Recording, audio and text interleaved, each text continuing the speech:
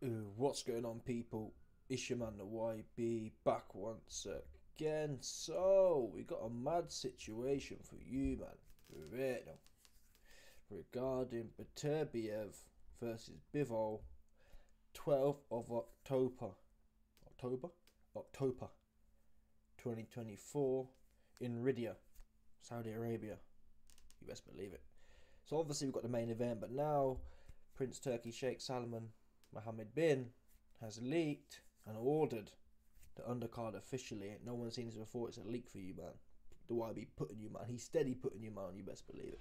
So, oh, look at the garms these men are wearing as well. Look at these. This is proper clubber. That's what I rate about the Saudi cats as well.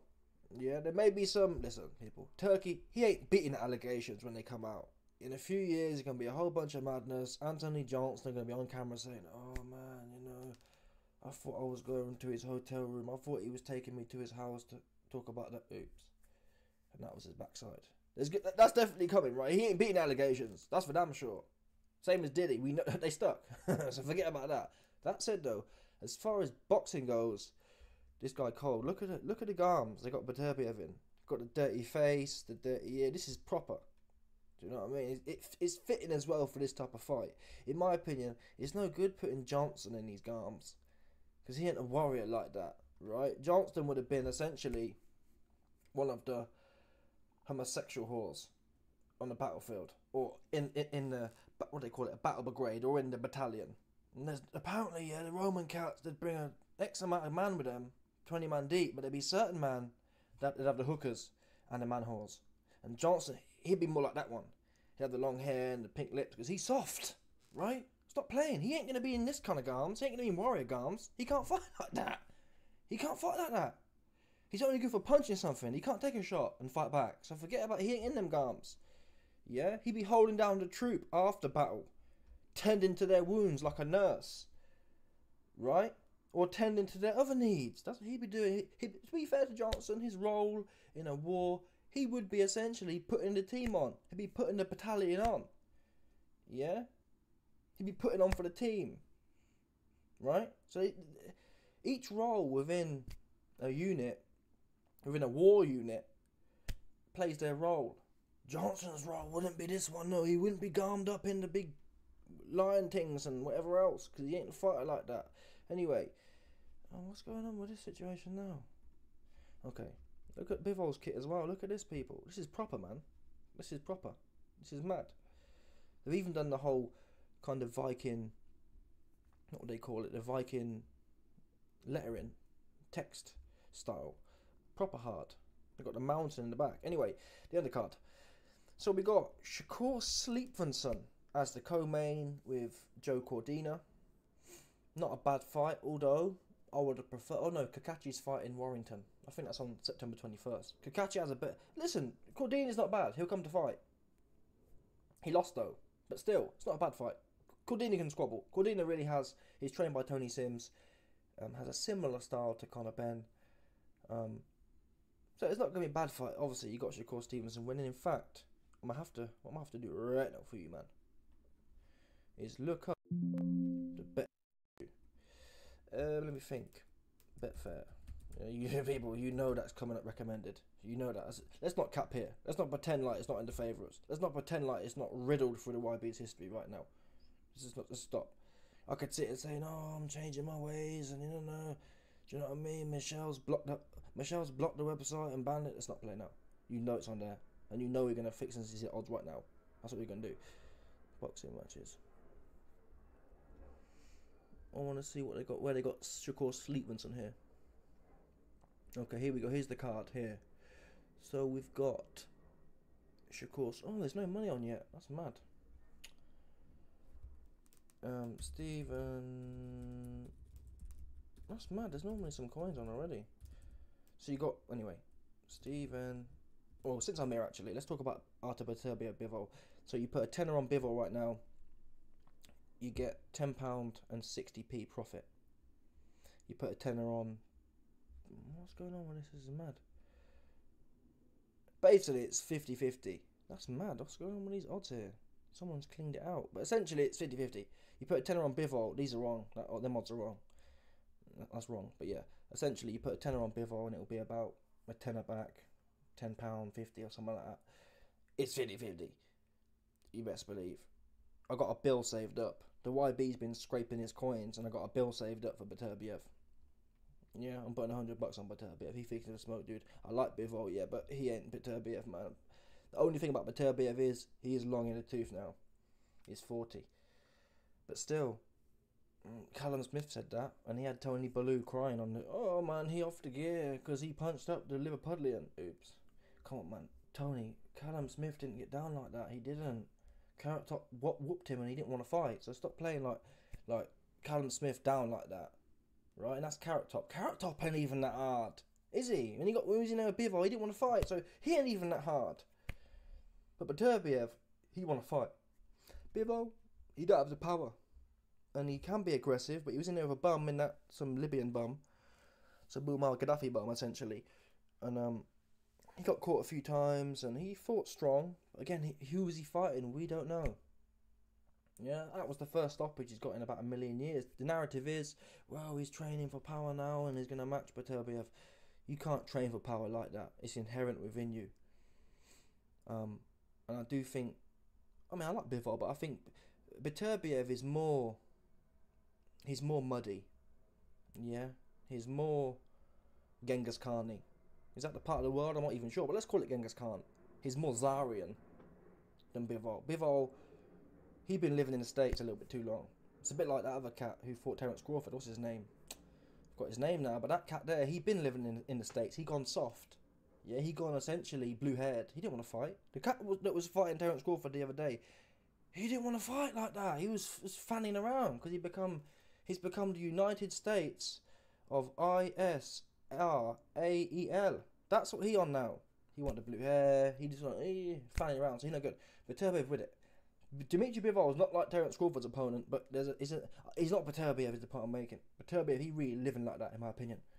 I'm biased though, because I've been saying for a while he fixing to smoke with Bivol. But to be honest, I'll be happy to lose 100 bucks on Beterbiev, assuming he comes to fight, which I believe he will.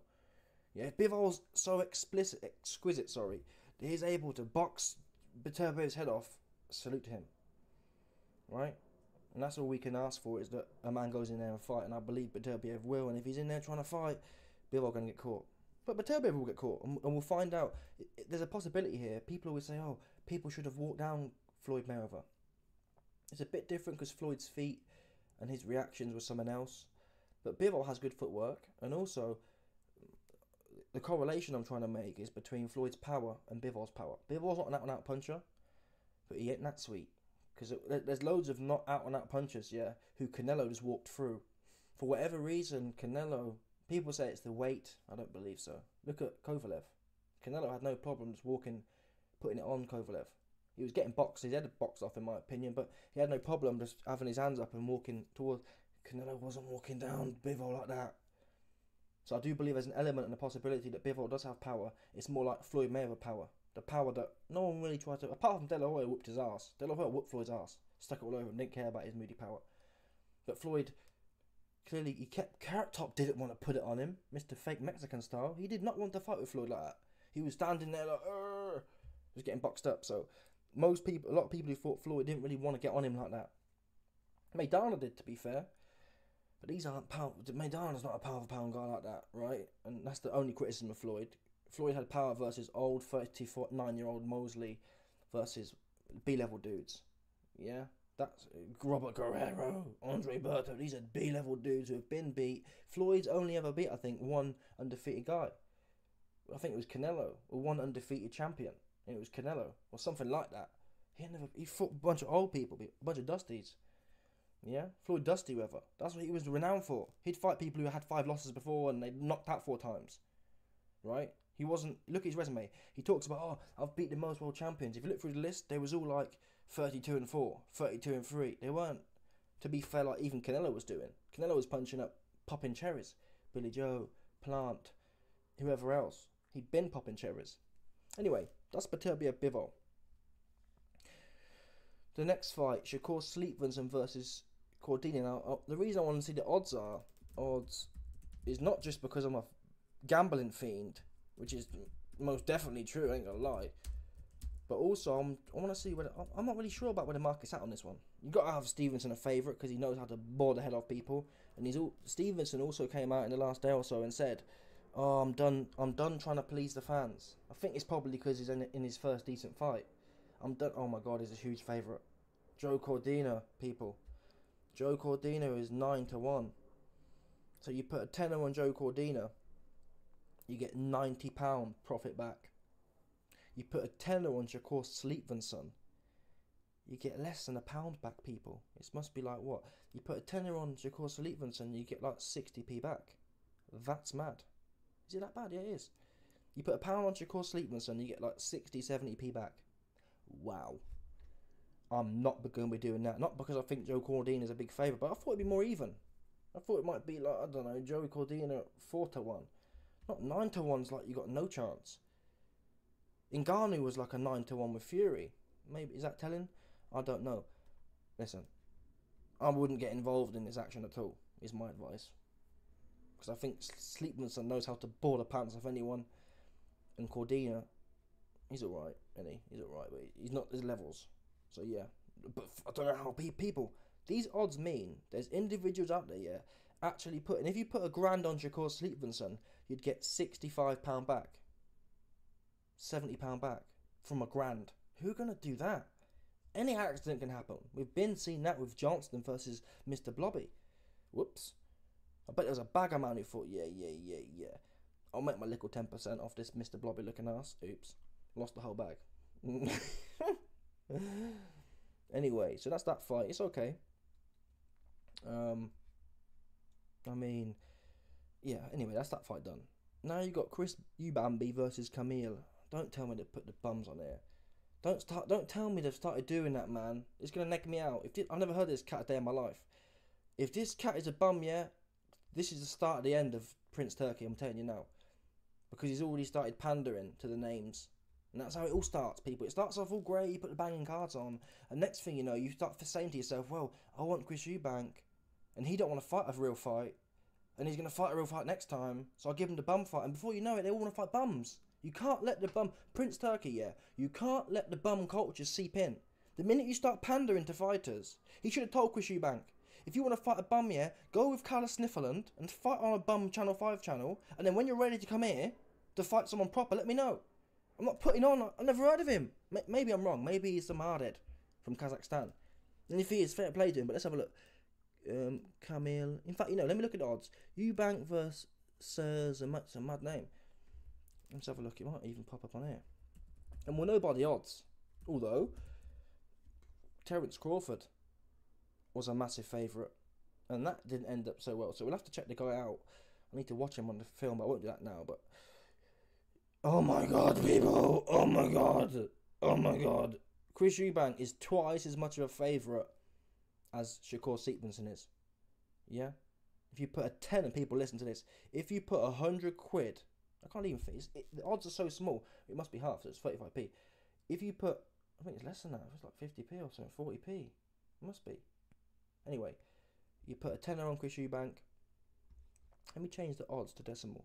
I can't really interpret these mad ones here. I ain't gonna lie to you. Oh yeah, we go. You put a tenner on Chris Eubank, and you get 40p back. You put 100 quid on Chris Eubank, you get 4p back. Look at the odds, people. Sorry, 40p back. A tenner on 100 quid on Chris Eubank, you get 4 pounds back. This is a complete bum. Turkey, what are you doing, bro? And it's number three on the card. Yeah, what are you doing, man? Just take it off. Honestly, yeah, I feel at this point in the game, there's a whole bunch of other cornballs who can do these bum fights, man. This is supposed to be Saudi Premier. And I had a worry last time, not even a worry last time. I think it was the AJ card. The AJ card versus Dubois. It was weak, man. It was lacking. It was a bit like, hmm, I think the, what was the co-main for that? Oh yeah, the co-main was Warrington versus Cacace. It's like, really? When you think about the 5v5, that was like bars, bars, bars, bars, bars. And yet you've got your third support, or second support, in a fight which is a 25 to 1 fight essentially. Yeah? This guy is 12 to 1. It's ridiculous. It's annoying. Why do that for to the people then? Why, what, why bother doing it, man? It's whack. Ain't no one trying to watch that rubbish. that said, so my advice would be get rid of Eubank, man. Go fight a real fight, man. What you been doing? You've been Conor Benn's Conor Henn's been chasing you down with the moody eggs. Yeah. Who else offered you a fight? Carrot Top offered you a fight, and you didn't want to fight him, or you thought he was worth more. You come on, Eubank. Go get that. Go get that cinnamon bun looking ass. What are you doing? Getting the light skin cat. I ain't gonna lie to you, man. They'd be corny. That's the truth of the situation. A lot of light skin man be letting me down. Because you the only really when you look through this this card, you the only one fighting a bum like that. You're you're 35 year old or whatever. You're established. Everyone else getting it in, and you fighting a, a, a Kazakhstani cab driver. That's what you're doing, Chris. Look at the card. Everyone else taking penitentiary chances. Shakur Stevenson, okay, but still, it's a de- Cordina's a well-known guy, right? He's not. A, he's not a Sir. Come on. Wardley and Frazer Clarke, penitentiary chances. Opetaia Massey. Opetaia's going to be the favourite, but Massey ain't. He with the shits. He come to fight. Ben Whitaker, Liam Cameron. Mr. Ellis Sniffo. Yeah, Ben Whitaker versus Liam Elkinahan Cameron. I'm glad Cameron's getting put on. He was done nasty by the establishment. Skye Nicolson. So obviously Eddie Hearn's patterned up his his new thing. Patterned his new thing up with, with a body to catch. And then, okay, obviously again, Turkey putting on the Muhammad cat as well. Making sure his people can eat. Respect that. Love that all day. No doubt about it. So, Chris Eubank, get him out of here. That's the truth, people. I like Eubank. Get him out of here, though. Not, this, ain't, this ain't the place for that, man. Go, you, you've been doing that, Chris. You've been fighting bums. You've been doing that. Don't bring that over here, man. You letting, you letting, you know what I mean? You're diluting the quality. Take it somewhere else, Chris. Piss me off with your light skin looking ass. You think you? That's the problem with the light skin cats. I told you this before. Chris, no doubt, came to Saudi, yeah, with his light looking skin, and Turkey thought, I have to have that one. Yeah, I have to have that one. Oops. So Chris is there strutting his pretty looking light skin ass out around the place, and Turkey thought, I want to have that one. And Chris said, Hey man, put me on. Give me a bum to fight. And Turkey was conflicted. Yeah, he saw them sweet light skinned cheeks, but he also saw the fight's a bit dead. And more time, we know what, what do we know about people? What do we know about your, your mind and your ting? For real, for real. So you you know what Turkey did? Bosh. That was Chris's ass, and he on the card ultimately, right? Because Turkey, there's no way, people. Eddie Hearn said Turkey's a connoisseur. Turkey ain't, he ain't doing crap fights. Oops. So don't tell me, oh, why be you bugging? There's no way Chris got popped in Saudi because well, what was the other motivation? Turkey ain't been putting these 25 to 1 fights on. He has not. So why is he doing it now for? He paid in cash or kind, or he paid in kind. Yeah? He kindly paid his ass up, is what he did, in my opinion, allegedly. Well, some people are saying. I don't think he did, but some people are saying, allegedly. Anyway, Fabio Wardley, Frazer Clarke. Um, Fabio Wardley, Frazer Clarke. What's the situ right now with this one? Where's my odds thing gone? Okay. This is another interesting one to be. This should really be co-main. I'm gonna lie. I mean, Cordina and you. You have to have 50-50 fights on the co-main. Is it Frazer with a Z? Yeah. I don't know. I won't be betting on this fight. I think I bet, or I certainly backed Fabio Bigley. Um, but I, I don't know. Frazer's jab was was. Oh, what's going on there? Mm, Fabio Wardley's a strong favourite. Not strong. You put a tenner on Fabio Wardley, you get six pounds seventy back profit. So that means what's his name? Frazer Clarke will be you put a tenner on him and you get about 14, 15 quid back. I'm, I'm guessing, but it'll be something like that. You get 14 quid back for putting it on Frazer Clarke, but Fabio Wardley is a decent favourite. I'm not, I'm not taking that. That jab I saw, if Frazer Clarke could keep his jab going, he'd have won that fight. He started trying to do everything else. That jab was deadly and it was quick, and he was making um, Wardley look silly. So I don't know what these odds makers are on. This fight for me is 50-50. If anything, gun to my head, yeah, I'd have to lean towards Frazer Clarke because Frazer Clarke also doesn't have as much top level experience. That was his first top fight, so he's going to grow more than that. Yes, Wardley was pushed too, but he'd had more big moments. That was Frazer Clarke's first big moment, so I, there's more upside on him. I'd assume. Plus, obviously, his amateur background, and I, I never, I'm, not, I'm not one of them catcher who believe it matters, but it showed in that fight. There's something matters. I thought Wardley going in and swing on him, but all that loose as a goose business, it didn't really work out too well. Although he caught, he caught Frazer Clarke. To be fair, so he does have the power. But when you're throwing people, real due respect, when you're dropping your hands to your waist and slinging as hard as you can, everyone got power, right? And that power's all good until it's not. But yeah, who knows? Interesting fight though. Um, Joe and Massey. Again, I think Opetaia is going to be a big favourite. Not as big as the Eubank or Stevenson situation. What's Jack Massey? 4 5 to 1? I'm going to throw out there. Wow, I'm wrong. This fight is as bad, apparently, as the. um. This fight is as bad as the Eubank fight. So you got 11 to 1 underdog, Jack Massey. You put a tenner on Jai Opetaia and you get 50p back if he wins. Profit. You know what I mean? I don't know, people. It feels like a bit of a fall off to me. I think the problem is, to some degree, Turkey needs to bring Ben Shalom in. Yeah, but obviously there might be political reasons he can't do that. Eddie Hearn's alluded to the fact that Ben Shalom don't want to don't want to work with people, but that's what he needs to do. Why? I think Ben Shalom's got got Chris Billam-Smith. Has he got two belts or whatever? So it should. I mean, I, I, I don't. Again, I think maybe Turkey has diluted it too much. Yeah, in my opinion, the whole point of the events, they had one event in October or November, I think, 2023, then one in March. That five, six month period means you can reload the fighter stock. Most fighters want to fight every, well, three to six months. When you're going, what have they done? They've been on a madness. They've gone November, March, May, June, and then an August one as well, and then a September one, then an October one. Naturally, when you're doing a card every two months, yeah, you fight. You can't. Your stock of fighters have has depleted, which means you have to make these. Uh, to be fair, I think the odds are wrong here. Yeah, Jack Jack Massey and a Punk. This is a four to one underdog here, not a twelve to not eleven to one. Sorry, that's ridiculous. But still, seeing so many of these fights be 10 to 1 underdogs, these are dead certs essentially. Again, I think this is wrong, this particular fight, but the other ones, whatever. Um, certainly the Eubank fights are 10 to 1, 12 to 1, 14 to 1 fight. I mean, who want to watch that crap? The whole point is they're competitive, and the 5v5s, for me, that that's the base in principle. That's what people want to see, man. Every single one of them fights was banging. Every single one of them fights could have been a, co-main, or sorry, a main event. Right now, we're going to see, based on the odds, we're going to see Jai Opetaia wash this guy. Um, it's going to go down. Let's go down the list a minute. Let's see what happened. So you've got a great main event for sure.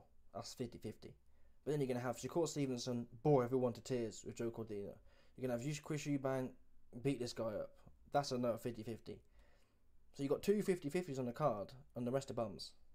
That's the facts, people. You got how many cards? Man, one, two, three, four, five, six, seven, eight. Eight fights, and you got two 50 50s and six fillers. No, that's a bit unfair. Cordina versus Stevenson isn't a, isn't a, a filler. That is a filler. Chris Eubank versus this cat is a filler. That's not really a filler either. I'm giving respect to Massey. I watched Massey versus Chamberlain, but Chamberlain isn't the most high premier, but that was a good fight. Massey and the Punk. And I think I think the punk is in Opetaia, to be honest. He took a good game, he looked hard, but when Briedis was putting it on him, man, Jack Massey need to go in there. What's the guy's name? Gallagher something. Gallagher needs to put Jack Massey on, man. Stick your hands to your head and walk this pussy down. He don't want to fight. What's the Briedis fight? He was scared to death to exchange Briedis, just jumping on the spot. Like a Jippo. He don't want to fight like that. Put it on him. He's soft. He's sweet, in my opinion. He got all the hype, yeah, but he didn't want to fight Briedis. He didn't. He shit himself in the last few rounds. So get him out of here, man. I'd love Jack Massey to go in there because Jack Massey can squabble. That fight, Massey versus Chamberlain, was a proper fight. A proper fight. Jack Massey want to fight. Opetaia don't want to fight. So put it on him. Take him where you don't want to go. He, J- Jai Opetaia wants to jump on the spot and just piss around. That's what he want to do. He don't want to fight. That's a fact. So get him out of there. I'd love Jack Massey to stick it all over him. At least have Jack. At least have a go, man. You here now? All right, just have a go. Put it on him, and I think he'll fold. Because Briedis is 40 years old and put it on him and he, he was half out of there. Looking like he about to cry. He wanted out of there. He didn't want to fight. That's for damn sure. He can't. I've never seen, or I'd, certainly in that fight, that was the first fight I watched of his. Opetaia don't fight on the inside. He kind of jumps in, gets some things off, and runs off. And if you're on top of him, he shits himself. Don't know what to do. Yeah, he's a runner. They put it on him, make him uncomfortable. He was super uncomfortable. Even if you think he didn't shit himself against Briedis, yeah, he was damn sure uncomfortable. So put it on him, make him uncomfortable. If you sit at mid range trying to box with him, you can do that all day and you'll lose for sure. You've got to get on him. Anyway, so yeah, you got, I mean, what? 50 50 here. Boring fight here. Filler. 50 50. Potentially, if Jack Massey don't come to fight, he can get his head boxed off. So this could feasibly be a boring fight. Japatar jump on the spot and just pissing around. Boring. Liam Cameron, I haven't really watched him, but I assume it's going to be one of them ones. Another another filler. Let's put Whitaker in. See what the odds are. It's going to be like a fifty to one.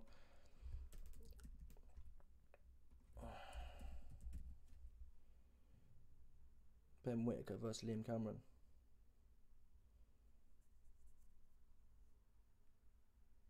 Hmm, ten to one. Ten to or nine to one underdog. You put a tenner on Ben Whitaker, you get 80p profit back. So again, massive favourite. Um, it's not it's not a good look, man. In my opinion, most of these fights, I'm, I'm not even look at these fights, but these will be the same thing: ten to one favorite, ten to one favorite, ten to one. How many ten to one favorites plus have we got essentially? One, two, three, four, five, six. So out of a out of an eight out of an eight fight card, six of them are ten to one favourites. Turkey, man, you fell off. I'm sorry to break it to you. You'd be better off. People are already saying, yeah, eight fights is a lot of fights, man it gets a bit long in the tooth. Turkey would be better off, number one, I believe, the Saudi shtick, yeah, it should be quarterly, at the most. Every quarter we do an event, and it's all well scheduled months before, or everyone knows it. So that, so that the fighters have in their minds, oh yeah, it's a turkey date coming up for March, or it's a turkey date coming up for July, June. So you know when to be ready. All this loose as a goose, people ain't necessarily ready or whatever else get in a cycle kind of thing. Like Canelo, he fights May and he fights September. Getting that get that kind of rhythm going. Not more than four cards. It's not feasible. You don't have, there's not enough fighters like that, top fighters to make finger licking cards. The second advice is cut these cards down, man. I guess the thing is he's trying to put the bums on as well. He's trying to put the up and comers on, but do that somewhere else, man. Eddie Hearn still has the DAZN cards, right? Frank Warren still has Moody BT slash he might be coming to the DAZN cards. Bob Arum still has the Moody ESPN cards. Put these cats here, Muhammad, Skye, and Ben Whitaker, put them on them Moody cards, man, until they're ready to fight. Until Ben Whitaker's ready, yeah, to squabble with Anthony Yarde or that kind of caliber, put him there. Don't be filling up here with your bum fights. Don't want to watch it. I'm not interested. I'm not. To be quite frank, and even Jay Patar. I mean, I, forget about this fight. I think I think Jack will come have a go. So forget about that. I'm not going to slag that fight. But Chris Eubank, go to Sky, man. Go to Moody Channel 5. What are you coming here for? Taking up the airwaves. This this card really, I mean, if I'm honest, it should be two fights on this card. If I'm strictly honest, it should be Beterbiev Bivol and Fabio Wardley versus Clarke. The rest of them sit down somewhere. Just do, like, you know what I mean? Obviously that's extreme, but I'm saying rather than do an eight fight card, if you can't fill them in, yeah, if you can't make an eight fight card, make a four fight card of actual quality, or even a three fight card. Yeah, starting at seven o'clock. Bosh. A good fight. Bosh. A good fight. Bosh. People ain't really looking to sit there all night anyway. The other night I was up at it started at like six and it was on to about three o'clock in the morning. It's a bit long in the tooth at that point. Just get in and get out. Bosh. We start eight o'clock. Eight o'clock to eleven o'clock. That's all we need. No one really fixing to be sitting there from six in the afternoon to two o'clock in the morning. Who want to do that really? You lose the you lose the energy. Plus, when half the fights are boring slash white watches, who wanna? It's not as that five v five man. I was hard as rocks, mate. Yeah. Michelle, know she knows that one. You best believe it. No doubt about that one. So you ain't got to be doing these kind of every month shows that are whack. People, we all love every. At one point, so again, up until this, up until the Johnston card in, in September, they was wicked. The August card was essentially the peak. That little run we had of March, May, June, August was banging. But you've blew your load now. And it's starting to show because the AJ card is weak. You've got Warrington versus Cacace number two. That's weak. This is weak. Right? Then you got this card, which is weak.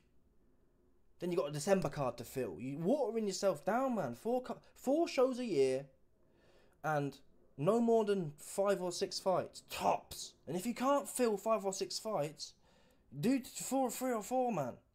Quality. Because you've already got the outline here. Beterbiev, Bivol, Wardley, Clarke, and then make another two bangers like that. They haven't all got to be world class level. Look at Fabio Wardley, Frazer Clarke. That's a solid fight, right? But it, it's not even about really the level of them. It's it's the it's the it's the evenness.